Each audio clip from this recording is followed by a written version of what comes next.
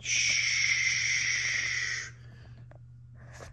Hey, Harry and Hey, Esme. Harry and Esme, happy Ha- Easter. Happy Easter. Loved your video message yesterday. And yes, you were right. Uncle Mike was out flying. Aunt Tammy was home waiting for me to get home. And uh, and now it's Easter Sunday. And we just wanted to wish you a very happy Easter. Praise the Lord. Jesus Yes, he is risen. risen. And that's great stuff. And your Mimi, is that what they call Linda? Gigi. Gigi. Gigi can tell you all about that. I'm sure she already has. But we wanted to say Happy Easter, tell you that we love you and we miss you guys.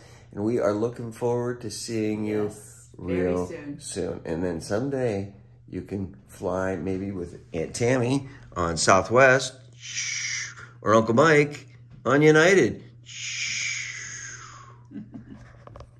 Love you guys. Love you guys. See ya. Have a wonderful Easter day.